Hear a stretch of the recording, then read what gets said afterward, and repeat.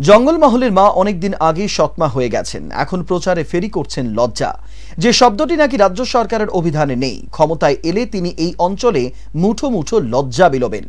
কারণ তার প্রতিদ্বন্দ্বী চিত্রাভিনেতা দেবের নাকি লজ্জা শর্মের কোনো বালাই নেই তিনি নাকি এলাকার মানুষের জন্য কিছু না করে আবার ভোট চাইতে এসেছেন। ভারতী ঘোষ তাই এই সব মানুষদের বিবেকে লজ্জার প্রলেপ দিতে চান। সেই ভারতী ঘোষ, যার নিজস্ব লজ্জা ও বিবেকবোধের ভুরি ভুরি উদাহরণ ইতিমধ্যেই মানুষ পেয়েছেন। দাসপুরের পথে পথে তিনি এখন তার গত জীবনের মায়ের সরকারের কুৎসায় গাল ভরাচ্ছেন।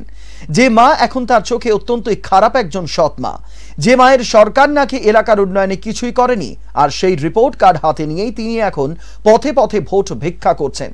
ঘাটালের মানুষ তার কথা কতটা বিশ্বাস করবেন, তার অতীত তার সাথে কতটা বিশ্বাসঘাতকতা করবে সে সবের উত্তরের জন্য সকলকে তাকিয়ে থাকতে হবে আগামী তেইশ মের দিকে। লজ্জা নেই। তার কারণে সরকার অসুস্থ সরকার। পুলিশকে সামনে রেখে চলে। যারা পুলিশকে সামনে রেখে চলে, তাদের লজ্জা থাকে না। আর লজ্জা জিনিসটা ম্যানুফ্যাকচার করা যায় না। যাদের লজ্জা থাকতো তারা এসে ভোটের আগে অন্তত ভোটের আগে অন্তত মানুষের অধিকার মানুষকে দিত যা যা দরকার দিত মানুষ হেসে আনন্দে থাকতো। সেটাও তারা করেনি। তারা ভাবছে ভোটের আগেও এগুলো দেবো না। ভোট তো আমরা জোর করে নেব গায়ের জোরে নেব আমরা পুলিশ দেখিয়ে নেব মেরে নেব লাঠি দিয়ে নেব।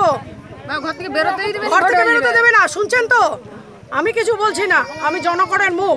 আমার মুখ বন্ধ করা যাবে না আমাকে জেলে পাঠিয়েও যাবে না আমি দাঁড়িয়ে বলছি আমাকে চোর